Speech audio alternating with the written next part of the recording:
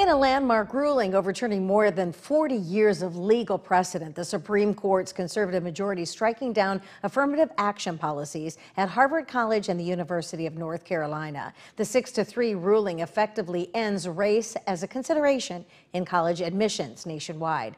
Author Chief Justice John Roberts writing the lead opinion saying the two schools' policies violate the 14th Amendment. The three liberal dissenting justices calling the ruling a tragedy for us all. President Biden also reacting strongly, denouncing the decision. Discrimination still exists in America. We cannot let this decision be the last word. And at the end of his address, President Biden responded to a question about whether this Supreme Court has legitimacy, and he answered, This is not a normal court.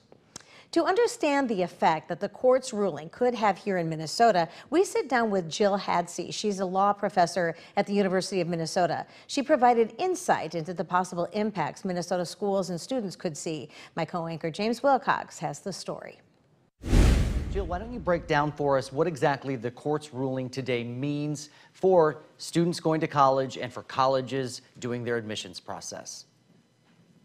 Well, the first thing I'll say is that affirmative action only applies to colleges and universities that have selective admissions, which many colleges and universities do not. They're essentially taking everyone who meets the basic qualifications. But selective uh, colleges and universities have, for the past four or five decades or so, taken race into account in, in admissions often, meaning that among the many other criteria they consider when someone when deciding whether to admit someone they could give someone a boost for being a member of an underrepresented racial or ethnic group. The punchline of today's decision from the Supreme Court is that universities can no longer give someone a boost in admissions because of being a member of an underrepresented racial or ethnic group. What does this mean for those students who may have received that boost, who are from uh, underprivileged groups, didn't have some of the privileges that some of those other students in those elite schools do have and are able to use to their advantage? Well, if you're already in college, no one's taking away anyone's seats. You know that that is uh, said. If you're applying for college, the majority explicitly leaves open the possibility that you can, in an essay, explain obstacles you face, challenges you've uh, surmounted, and that some of those obstacles or challenges may involve experiencing race discrimination.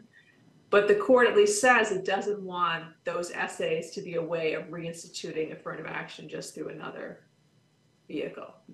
The Supreme Court's decision today was all framed in terms of higher education, uh, and it does not address employment. It also explicitly says that it's not deciding on the constitutionality of affirmative action programs for the military academies like West Point.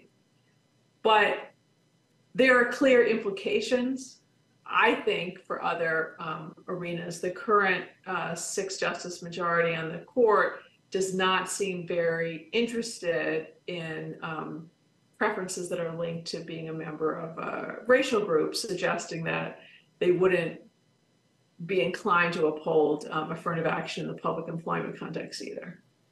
Why is it that now is the time we are seeing these cases? We had Roe versus Wade and now this one dealing with affirmative action. Why are these coming to light right now with the Supreme Court after decades? Well, I think there's two interlinked reasons. One, the membership of the court has shifted and there's a solid six justice conservative slash regressive uh, majority, and two, social movements on the right seizing this opportunity are really pushing their cases. So the plaintiffs in the in this current challenge to affirmative action